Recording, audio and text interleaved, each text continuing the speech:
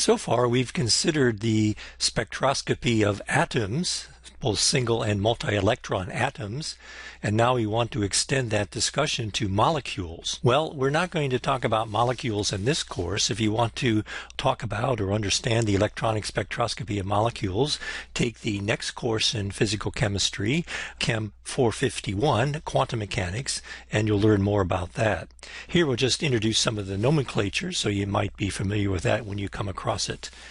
All right, so diatomic molecule. Essentially, what you're doing is now instead of atoms, you have a molecule. Let's look at diatomic molecules.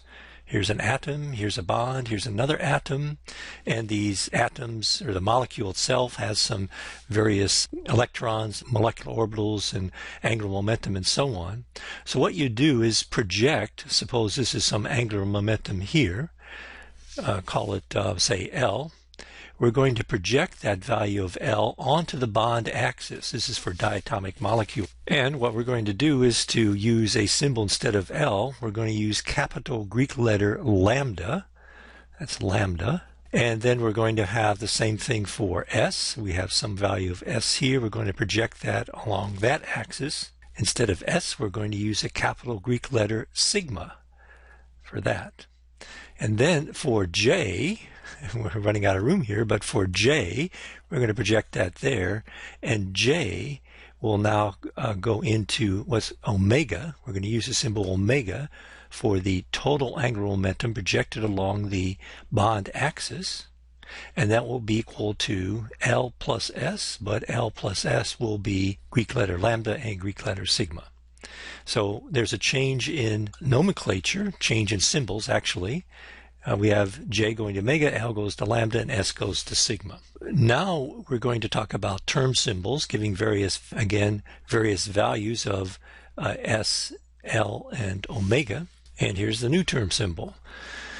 So uh, here's our table. So remember we had L. We're now going to call capital lambda 0, 1, 2, 3, and so on.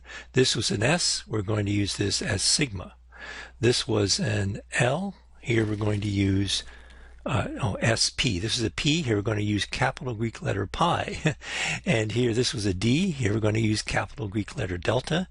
This was an F. Here we're going to use capital Greek letter phi, and so on. So I guess we're switching to Greek here when you talk about diatomic molecules.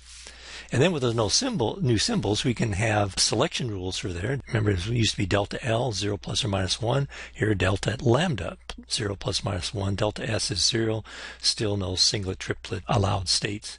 And here you have Gerade and Ungerade, Gerade and Ungerade, and this is symmetric, uh, with respect to inversion, and this is symmetric with respect to exchange of electrons, whether the wave function is symmetric or antisymmetric. So that's just a very, very brief overview of electronic spectroscopy of molecules. If you want to learn more, take Chem 451.